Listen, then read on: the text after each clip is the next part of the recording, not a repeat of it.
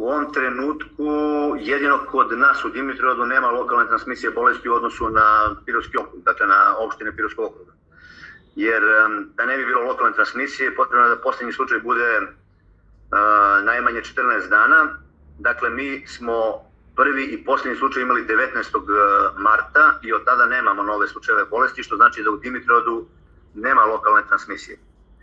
I Ja sam uh, ovaj, s jedne strane zadovoljan i merama koje uh, je donela i Republika, da se razumemo, jer ja podržavam sve ove striktne mere, a i merama koje je donela, donela opštinski štab za vanredne situacije, koje su bile još strože nego što je Republika donela, ali mislim da su dale uh, rezultat. To će naravno biti predmet debate i diskusije nakon svega ovoga. Međutim, sam podatak da u Dimitrovdu od 19.3. iako smo bili prva opština gde je zabeležen pozitivan slučaj COVID infekcije, do dana današnjeg nemamo nove i znači mi smo praktično sve to izolovali i završili negde još u martu mesecu i ja sam zbog toga zadovoljan.